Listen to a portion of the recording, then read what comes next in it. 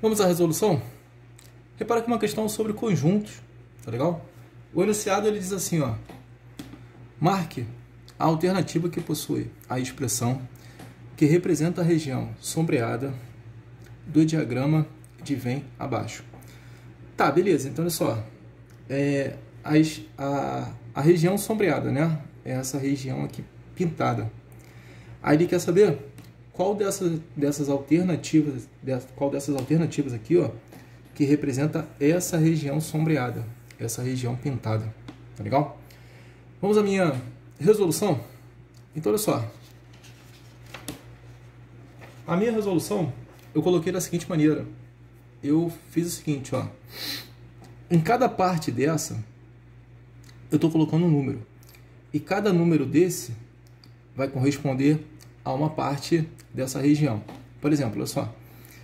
Essa parte aqui, ó, tá vendo? Vai ser representada pelo número 1, tá? Essa parte aqui vai ser representada pelo número 2. Essa parte aqui vai ser representada pelo número 3. Essa parte aqui vai ser representada pelo número 4. Essa parte aqui vai ser representada pelo número 5. Essa parte aqui vai ser representada pelo número 6 e essa parte aqui vai ser representada pelo número 7, tá legal? Com isso, é, nos conjuntos, a gente consegue determinar os elementos.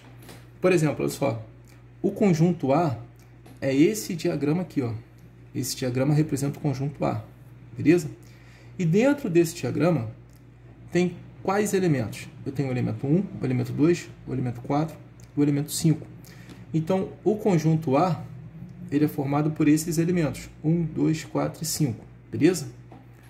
O conjunto B ele é representado por esse diagrama aqui, ó, que tem os elementos 2, 3, 5 e 6. Então, o conjunto B é representado pelos elementos 2, 3, 5 e 6, tá legal? O conjunto C é representado por esse diagrama, que tem os elementos 4, 5, 6 e 7. Então tá aqui, ó, conjunto C tem os elementos 4, 5, 6 e 7. Beleza? Tranquilo? Aí depois, eu pensei da seguinte forma. Eu pensei assim, ó. Agora vamos testar as alternativas. Então, vou testar a alternativa A. Beleza? Tranquilo? Na alternativa A, a gente tem o seguinte, olha só. Conjunto A, união com conjunto B, isso entre parênteses. Interseção com o conjunto A, união, o conjunto C, entre parênteses. Tá legal? Tranquilo? Então, o conjunto A representado por isso, por esse conjunto aqui, ó, entre chaves, né? O conjunto A é esse conjunto, tá legal? Aí, união, né? União. O conjunto B, que é esse conjunto, tá legal? Aí aqui, ó, o conjunto A, esse conjunto, união, união, o conjunto C, que é esse conjunto. Tá legal? Tranquilo? Agora, bora resolver isso daí? Olha só. União entre dois conjuntos. A gente vai juntar os elementos desse conjunto sem repetir elemento, tá legal? Então, aqui, ó, elemento 1, 2, ó, 1, 2, elemento 3, 4 e 5, ó, 4 e 5, e elemento 6, beleza? Então, a união entre o conjunto A e o conjunto B deu esse conjunto aqui, ó, que tem os elementos 1, 2, 3, 4, 5, 6. Tá legal? Aí aqui, ó, interseção, interseção. Agora a união entre o conjunto A e o conjunto C. Mesma coisa.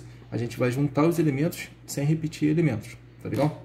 Então aqui, ó, elemento 1, elemento 1, elemento 2, elemento 2, elemento 4, elemento 4, elemento 5, elemento 5. 4 e 5 já tem aqui, então a gente não coloca. Elemento 6 e elemento 7. Beleza? Então, a união entre esses dois conjuntos deu esse conjunto aqui. Agora ele quer a interseção entre esses dois conjuntos. Interseção é o conjunto que tem os elementos, vai, vai ser o conjunto né, que tem os elementos em comum nos dois conjuntos. Tá legal? Então, olha só, elemento 1 é comum ao outro conjunto, então vem para a interseção. Elemento 2 é comum ao outro conjunto, então vem para interseção. Né?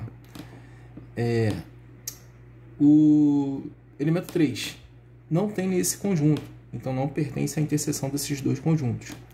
O elemento 4 é comum aos dois conjuntos, então vem para a interseção. O elemento 5 é comum ao outro conjunto, então vem para a interseção. O elemento 6 é comum ao outro conjunto, então vem para a interseção. O elemento 7 só pertence a esse conjunto. Nesse conjunto não tem o elemento 7. Então não pertence ao conjunto interseção. Beleza? Tranquilo? Então, a interseção desses dois conjuntos deu esse conjunto aqui, ó, com os elementos 1, 2, 4, 5 e 6. Aí botei assim, ó.